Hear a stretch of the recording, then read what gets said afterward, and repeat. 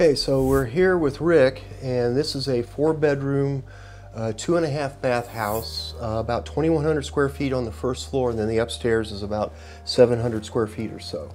And uh, what we did in the initial survey is this is his access point that is upstairs. We go upstairs. So this is the upstairs coverage of his access point, and we can see in the, this red box is where the living area is upstairs and the guest bedroom to the north in the gray area really has insufficient Wi-Fi. We can tell because if it's yellow to green, you're going to get 5 meg or faster, which is good for streaming data and streaming videos. So uh, down here in the southern part of the house, we can get streaming video, but the guest bedroom to the north, we expect it to fail there. And um, originally they had the one access point only on the second floor. And if we go down here and look at how the Wi-Fi is coming down from the second floor through the floor and ceiling into the first floor, we can see inside this red box, this is the house. The living area is this area. Right up here is the kitchen. These symbols you see are actually the next door neighbor's AP, but we can see where it's yellow to green that the upstairs access point only covers the southern part of the house uh, for 5 gig and at 2.4 gig doesn't do very much better. So here in the kitchen, and we're sitting at this table right here at this spot, we expect to have poor Wi-Fi and uh, non-streaming video and a lot of complaints. So what do we do to fix it? Well, on the first floor, we installed a new access point which has four antennas for the 2.4 gig band and four antennas for the 5 gig band. So what does that look like? Here on the first floor, we installed a new access point that has four antennas in, and it's located approximately here where the blue circle is. And this is the coverage that the downstairs access point, the new one with four antennas, is giving us. It completely covers the entire house. It actually not only covers the house, it covers almost the entire backyard. And if we zoom out, it covers the front yard and in the circle out front, they like to sit out here uh, in the fall during football games and have football watching parties.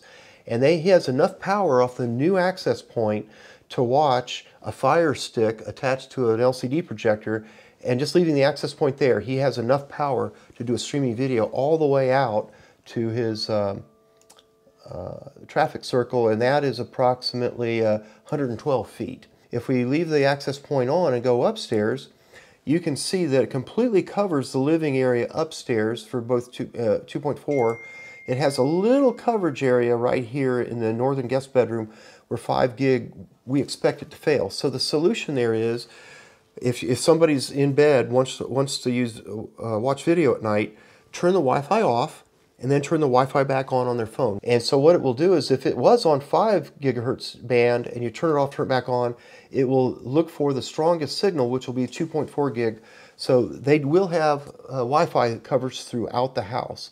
So to summarize what we did with this new access point, this is the original access point that was located upstairs. Here's what it looks like. And then if we go with the new access point, uh, this is what it looks like. The new access point from downstairs completely covers the upstairs, and yet the original access point, which is upstairs, didn't even cover the guest bedroom.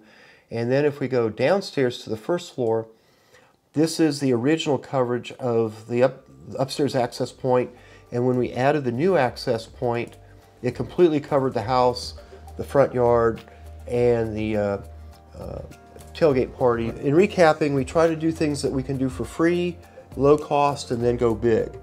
And uh, the original access point that was located upstairs, the coverage of it, it just didn't have enough power to get through the house. This is the Asus CM32 it's uh, an Asus Wi-Fi access point. The reason we uh, selected this is it is a cable modem facing the internet service provider.